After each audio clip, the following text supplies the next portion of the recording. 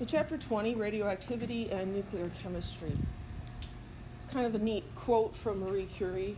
I'm among those who think that science has great beauty. The scientist in his laboratory is not only a technician, he is also a child placed before natural phenomena which impress him like a fairy tale.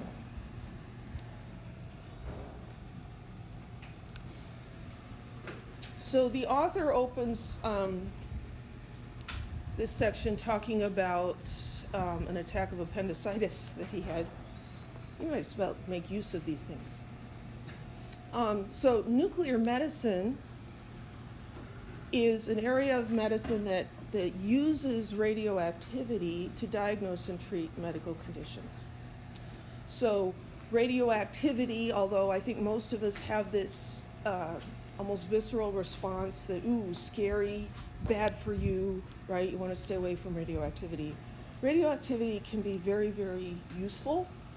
Um, it is natural, um, and we're going to learn a little bit about it. So, what is radioactivity? It's the emission of subatomic particles or high energy electromagnetic radiation by the nuclei of certain elements, certain atoms. So, the nucleus in a radioactive element is throwing out either particles or high energy electromagnetic radiation.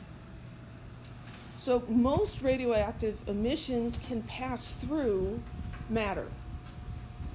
And so we can use them to take pictures to image things that are inside your body.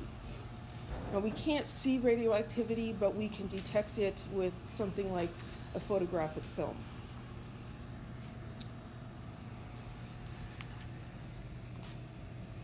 Okay, that's the end of the section. Interesting.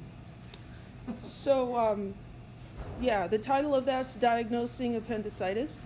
Um, apparently, I didn't put that into any of the slides. So, if you want to read about the appendicitis aspect of that, I guess you'll have to read the textbook.